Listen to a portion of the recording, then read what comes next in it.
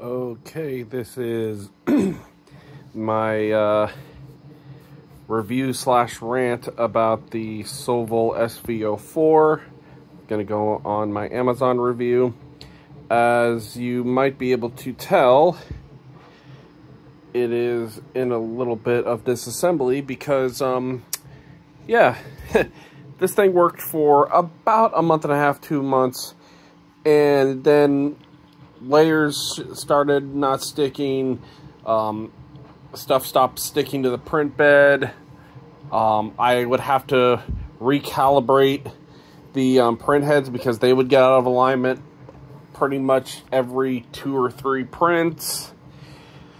So I contacted their customer service and they sent me two brand new um, uh, extruders.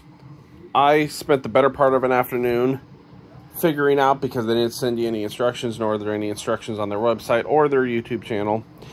Taking this entire thing off, rerunning the cables up into this board here on both sides, and still didn't work. Still didn't work because even with the print bed as high as it would, for some reason, the nozzle would not touch the print bed, even with this at its lowest setting and with this at its highest. So then they send me brand two brand new hot end assemblies. Two brand new hot ends, brand new nozzles, brand new thermistor, brand, brand new heaters. So I get all that put together. I'm like, okay, this should fix it. But then I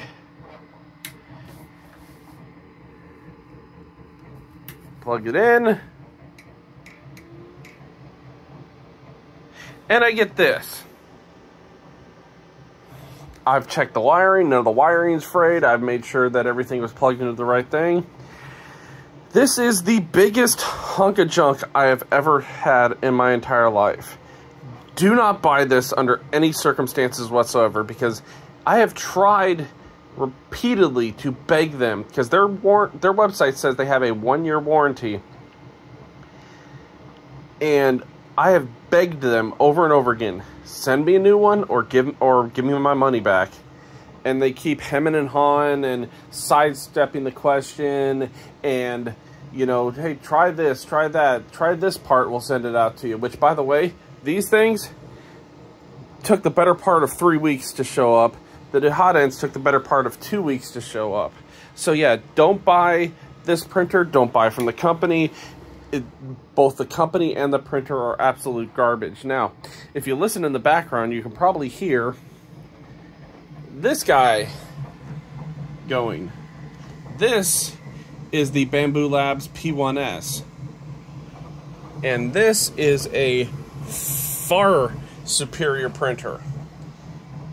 It's a few hundred dollars more, but trust me, it's way better, has way better auto leveling, and it has four different col um, colors you can print with. Expandable up to 16 if you want to pay some more extra money.